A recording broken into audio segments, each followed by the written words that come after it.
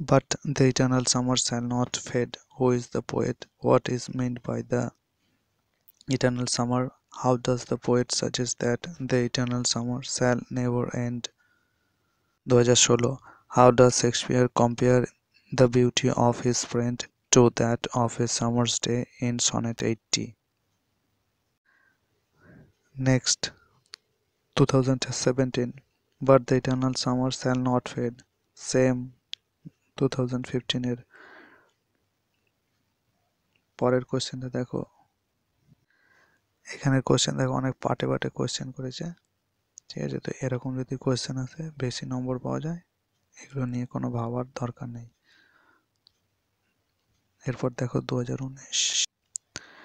But the eternal summer not fade আবার repeat question হয়েছে। তো দেখতে পাচ্ছ কীভাবে বারবার কোয়েশ্চেন রিপিট হয়ে যায়। দু হাজার কুড়ি What do the rough winds do? What does the poet mean by summer's lease?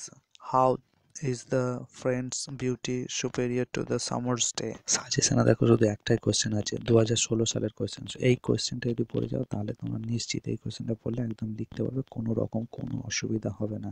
আর যদি পাটে পাটেও কোয়েশ্চেন দেয় দেখবে কম্পেয়ার থাকবে, এই কোয়েশ্চেনটা লিখলে মোটামুটি তোমরা কিছু নম্বর পাবেই তাও তোমাদের মধ্যে যাদের কৌতূহল রয়েছে, তার জন্য আমি আরেকটা কোয়েশ্চেন দিয়ে দিচ্ছি। এই কোয়েশ্চেন যদি পড়ে যাও, তোমরা নিশ্চিত কমন পাবেই। Thank you for watching